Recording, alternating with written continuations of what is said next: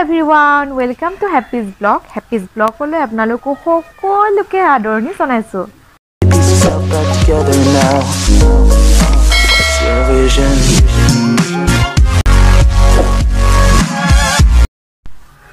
আজিৰ ভিডিঅ'টোত মই আপোনালোকৰ কাৰণে মছলা নিদিয়াকৈ পিয়'ৰ অসমীয়া ৰেচিপি এটা আগবঢ়াবলৈ লৈছোঁ এই লোকেল মানে অসমীয়া ৰেচিপিটোত মই মাছৰ লগত বনাম। মাছ মানে আপোনাৰ সৰু সৰু মাছ লোকেল মাছ মাছৰ লগত।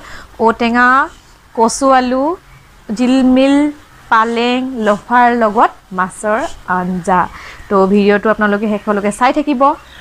তো ভিডিঅ'টো আগবঢ়াৰ আগতে মই কৈ ল'ম যে কি ভিডিঅ'টো মোৰ বহুত আগতে কৰা আছিল। বহুত আগতে নহয় মানে দুদিনমানৰ আগতে কৰা আছিল আৰু ভাবিছিলোঁ যে কি ভিডিঅ'টো ডিলিট হৈ গ'ল বুলি। কিন্তু ডিলিট হোৱা নাছিলে আছিলে। আৰু আছে যিহেতু মই আপোনালোকৰ কাৰণেই বনাইছিলোঁ। সেইকাৰণে ভাবিলোঁ দেৰিকৈ হ'লেও শ্বেয়াৰ কৰোঁ আপোনালোকৰ লগত। আৰু যদি ভিডিঅ'টো আপোনালোকে ভাল পায় তেন্তে লাইক শ্বেয়াৰ কৰিব। আৰু ভিডিঅ'টো শেষলৈকে চাই থাকিব। যদি নতুন কোনোবা আহিছে মোৰ চেনেলটোলৈ প্লিজ ছাবস্ক্ৰাইব নকৰাকৈ কিন্তু নাযাব। তেন্তে ভিডিঅ'টো আৰম্ভ কৰোঁ। আঞ্জাখন বনাবৰ কাৰণে মই লৈছোঁ পালেং লফা আৰু জিলমিল শাক কচু আলু ঔটেঙা। কেঁচা ধনিয়া মই সৰু সৰুকৈ কাটি লৈছোঁ। আৰু এয়া হ'ল লোকেল মাছ। লোকেল মাছ মই ইয়াতে গৰৈ খলিহনা ঔটেঙাটো যিহেতু বুঢ়া সেইকাৰণে মই অকণমান থেতালি লৈছোঁ ৰসটোৰ কাৰণে। ফাৰ্ষ্টে মই মাছখিনিত হালধি আৰু নিমখ দি ধুনীয়াকৈ সানি লৈছোঁ। তাৰপাছতে জুইত কেৰাহীখন পাতি দিছোঁ গৰম হোৱালৈকে। তাৰপাছতে গৰম হোৱাৰ পাছতে মই দি দিছোঁ তাতে তেল। তেল বেছি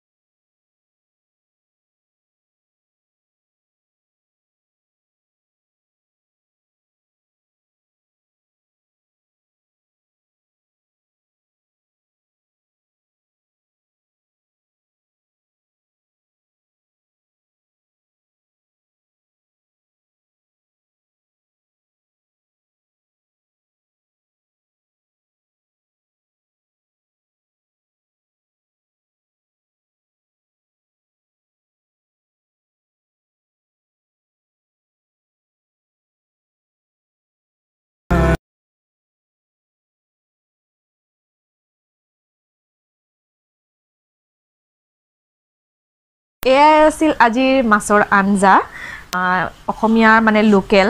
একদম চিম্পলকৈ বনোৱা। আপোনালোকে যদি ভিডিঅ'টো ভাল চাই ভাল পাইছে তেন্তে প্লিজ লাইক শ্বেয়াৰ কৰিব। আৰু কমেণ্টতো জনাব কেনেকুৱা পালে।